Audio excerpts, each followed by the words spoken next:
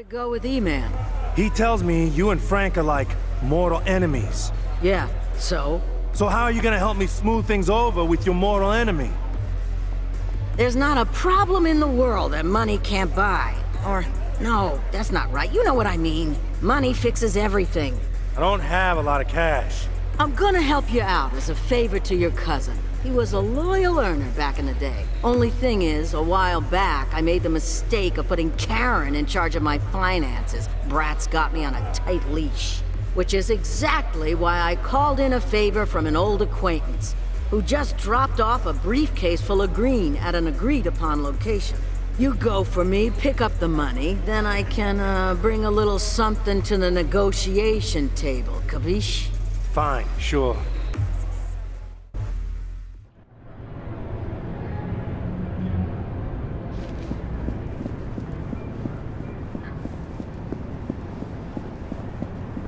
Watch it.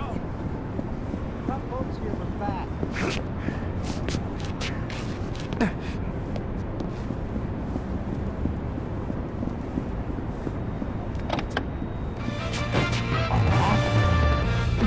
interrupt this broadcast to bring you some breaking news. A police chase occurred in downtown Vegas earlier today when an errant driver, equipped with at least two automatic weapons, opened fire on police officers. Police formed a blockade.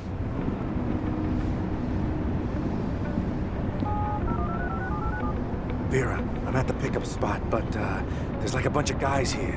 What? Ah, must have gotten a tip-off.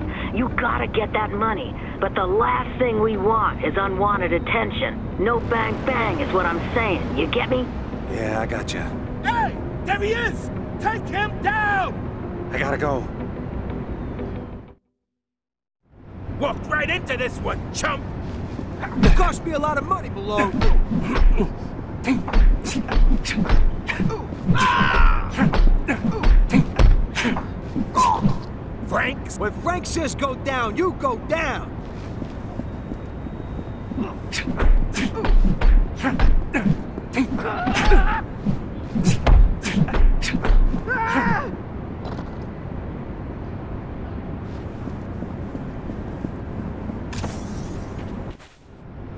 Vera, these guys knew who I was.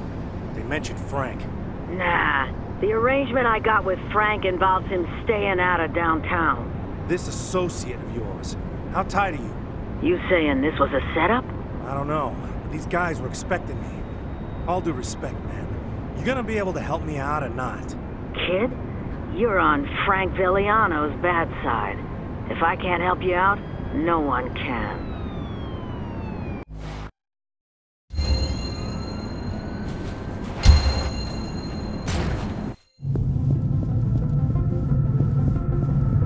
Secret government agencies!